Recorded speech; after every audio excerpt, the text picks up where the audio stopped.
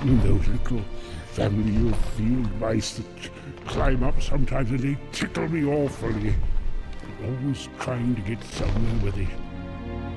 Oh.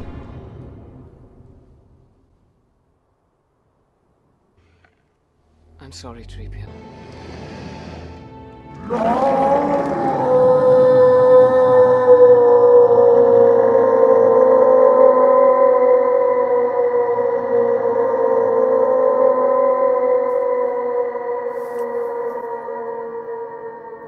That is no Orcorn.